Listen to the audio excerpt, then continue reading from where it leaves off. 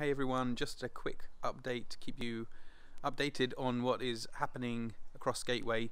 Hopefully that you've seen Esther's video that um, we posted just a few days back about starting a new Alpha course at the end of this month. I'm so excited that we're going to be starting off Alpha. Huge thanks to Esther and Doug who are going to be leading the team for us on that.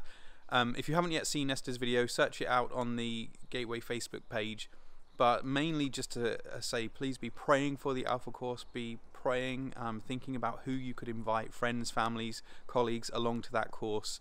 Um, we are really sensing that this is a good moment to go for it. I've heard a lot of positive things about alpha online recognizing it's hugely different from um, how we've done it previously but hearing a lot of fruitful stories um, as churches have been running it across the country already. So please engage with that um, uh, get praying, get thinking, um, and that would be fab.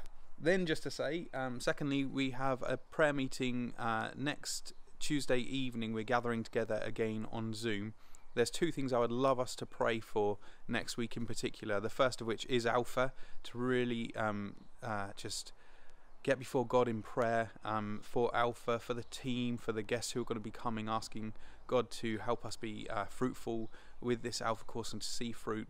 Um, so that'd be great to be praying for that together. And then, secondly, we're also going to be praying for Gateway Furniture. There is so much opportunity right now for Gateway Furniture. It's at a really very significant point in its journey. Really, very significant.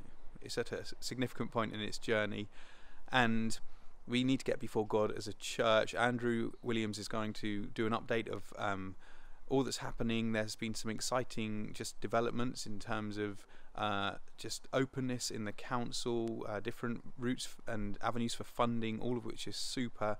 And we know that this is a an important point in its journey, so we really want to bring you up to speed with that and ask you as a church to be praying for it.